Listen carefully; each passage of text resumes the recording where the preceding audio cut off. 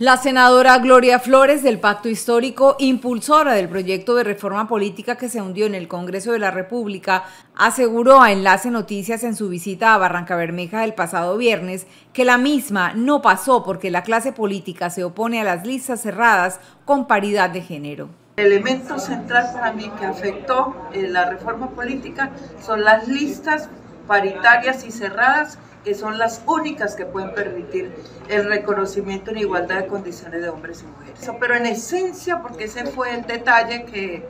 que siempre estuvo al centro del debate con los partidos tradicionales, el no reconocimiento de las listas paritarias y cerradas. Eh, porque no se quieren perder los privilegios que han tenido los hombres históricamente y la única manera de que las mujeres avancen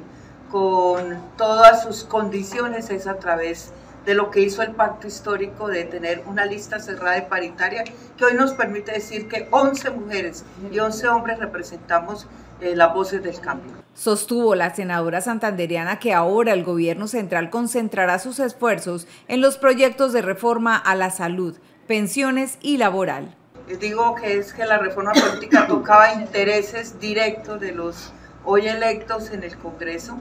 y eh, la reforma a la salud, la reforma pensional y la reforma laboral son reformas que está exigiendo el pueblo y que el pueblo en su votación mayoritaria, eligiendo a Gustavo Petro y Francia Márquez y a nosotros como bancada mayoritaria dentro del Congreso, pues nos dio un mandato y el mandato es el cambio y el mandato es la justicia social y el mandato es recuperar lo que ha perdido la sociedad, que por ejemplo en el término laboral es volver a recuperar condiciones laborales dignas para los trabajadores y trabajadoras de Colombia. La senadora Flores participó en Barranca Bermeja de la audiencia defensorial del pasado viernes y tuvo durante el fin de semana una apretada agenda política en el distrito.